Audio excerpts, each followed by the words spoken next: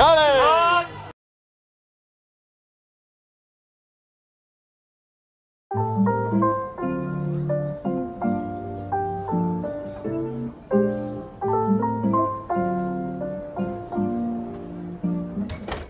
RSM.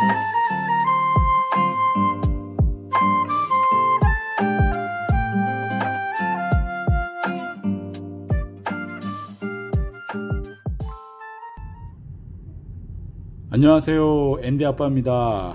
오늘은 일요일 드라이브 하기 정말 좋은 날입니다. 지금 저희는 로어 맨하탄에 가고 있어요. 로어 맨하탄은 뉴욕의 남쪽 지역을 가리키는 용어인데요. 맨하탄의 상업 그리고 금융 중심지로 알려져 있습니다. 여기 특히 월스트리트이 굉장히 유명하죠 월스트리트는 세계적으로 유명한 뉴욕 증권거래소를 비롯하여 다양한 금융기관들이 위치한 지역이에요. 그래서 뉴욕시와 미국 경제의 중심지로도 잘 알려져 있습니다. 이곳 로어 맨하탄에는 차이나타운도 유명한데요. 오늘 저는 이곳 차이나타운의 유명한 레스토랑 골든 유니콘에 왔습니다. 왜냐면 여기는 그 중국 만두 딘섬이 정말 유명하거든요.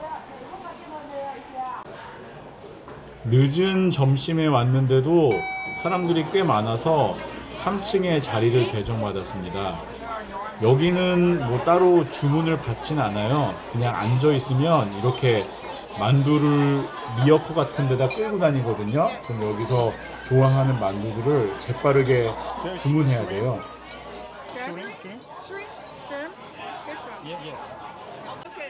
처음 방문했을 때는 좀 당황스럽고 정신이 없었는데 그래도 몇 번 해보면 나름 재미있습니다.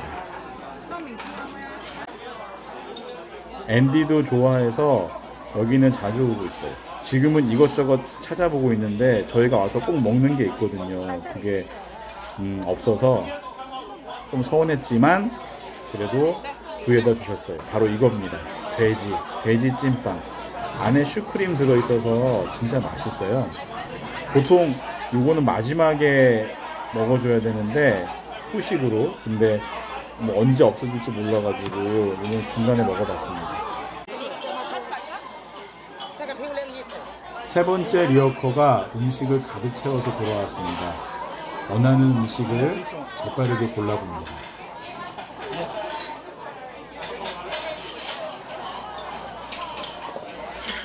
보통 저는 한 세 타임 정도 먹으면 어느 정도 배가 많이 불러오는 것 같습니다. 맛있게 먹고 이제 어디로 가볼까요? 엘리베이터를 타고 1층으로 내려갑니다. 아직도 사람들이 많이 기다리고 있네요. 이 집 정말 핫한 집입니다.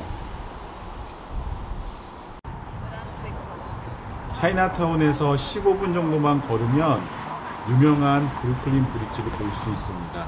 이 브루클린 브릿지는 뉴욕에서 유명하고 상징적인 건물 중에 하나입니다. 브루클린 브릿지는 1883년 5월 달에 완공됐는데요. 같은 해 9월 달에 한국에서 사절단이 왔어요.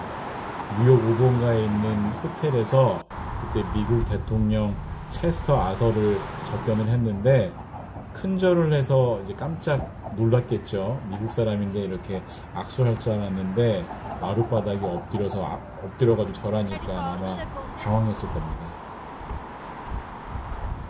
차이나타운에서 맛있게 안두 먹고 그리고 브루클린 브릿지를 거닐면 어, 멋진 여행 코스가 되지 않을까 싶습니다.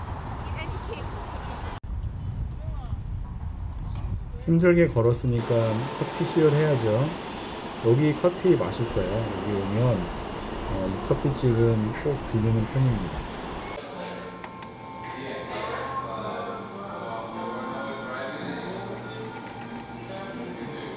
와.